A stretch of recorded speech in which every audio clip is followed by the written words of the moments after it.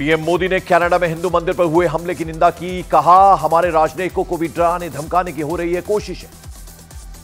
पंजाब के पूर्व मुख्यमंत्री कैप्टन अमरिंदर सिंह ने भारत कनाडा संबंधों के खराब होने के लिए कनाडा के पीएम ट्रूडो को बताया जिम्मेदार। सोशल मीडिया पर पोस्ट कर कहा, कनाडा के पीएम अलगाववादियों के समर्थक। भारत ने कनाडा में मंदिर पर हमले पर जताई नाराज़गी। एमईए ने कनाडा में पूजा स्थलों की सुरक्षा और हिंसा में शामिल लोगों पर कार्रवाई की बात कही। कनाडा में फिर हिंदू मंदिर पर हमले और श्रद्धालुओं की पिटाई के खिलाफ हिंदू फोरम का विरोध प्रदर्शन। विरोध में हिंदू फोरम ने बटोगे तो कटोगे का नारा लगाया। कनाडा में हिंदू मंदिर पर हमले के आरोप में हिरासत में लिए गए तीन आरोपी मंदिर पर हमले की बड़ी संख्या में हो रहा है विरोध। महाराष्ट्र में नामांकन वापसी के आखिरी दिन बीजेपी के दस बागियों ने नाम लिए वापस। शिंदे गुट के आठ अजीत गुट के छह बागियों ने भी नाम लिए वापस। महाराष्ट्र में नामांकन वापसी के आखिरी दिन शरद गुट के चार, उद्धव गुट के सात और कांग्रेस के दस बागियों ने नाम वापस लिए। मुंबई के अणुशक्ति नगर विधानसभा सीट से शिंदे गुट ने अपने कैंडिडेट का वापस लिया नामांकन। अणुशक्ति नगर से नवाब मलिक की बेटी सना मलिक लड़ रही हैं चुनाव। शिवसेना को लेकर शिंदे गुट और उद्धव गुट में घमासान जारी। शिंदे गुट को असली शिवसेना के रूप में मान्यता देने के मामले में उद्धव गुट की याचिका पर आज सुप्रीम कोर्ट में सुनवाई। शिंदे गुट की उम्मीदवार शाइना एनसी ने प्रधानमंत्री नरेंद्र मोदी को दिया धन्यवाद। बोली, अगर कोई एक नेता है जिसने महिलाओं के सम्मान के लिए आवाज़ उठाई है तो वो प्रधानमंत्री मोदी हैं।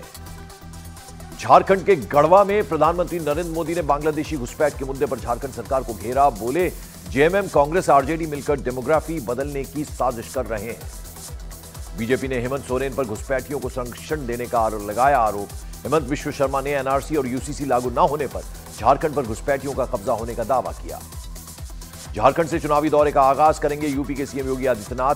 आज तीन विधानसभा क्षेत्रों में उम्मीदवारों के लिए समर्थन जुटाएँगे योगी। कांग्रेस अध्यक्ष मल्लिकार्जुन खड़गे का आज झारखंड दौरा, कई चुनावी सभाओं में होंगे शामिल। कांग्रेस नेता विजय दुबे ने बीजेपी प्रत्याशी सीता सोरेन के खिलाफ पुलिस में दर्ज करवाई शिकायत। सीता सोरेन पर लगाया कांग्रेस प्रत्याशी इरफान अंसारी को बांग्लादेशी कहने का आरोप। उत्तर प्रदेश, पंजाब, केरल विधानसभा उपचुनाव की तारीख बदलने पर अखिलेश का बीजेपी पर तंज। सोशल मीडिया प्लेटफॉर्म एक्स पर लिखा, टालेंगे तो और भी बुरा हारेंगे.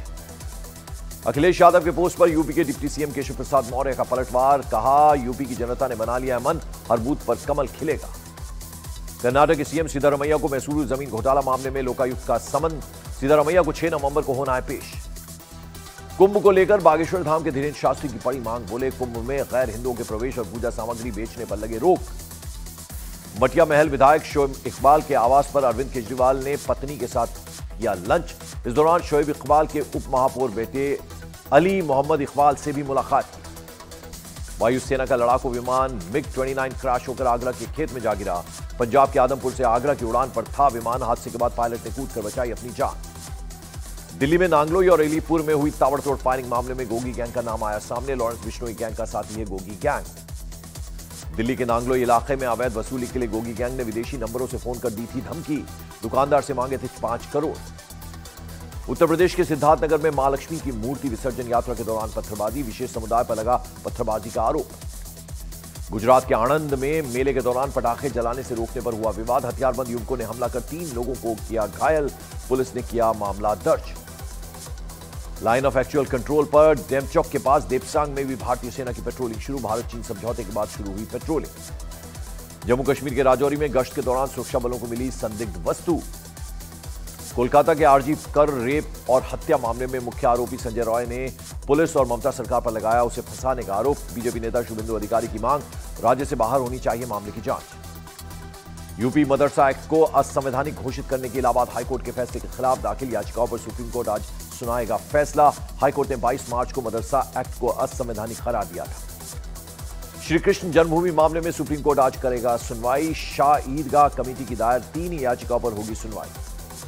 तृणमूल कांग्रेस सांसद महुआ मोइत्रा को लोकसभा से निष्कासित करने के मामले में दायर याचिका पर आज सुनवाई। सुप्रीम कोर्ट में होनी है सुनवाई।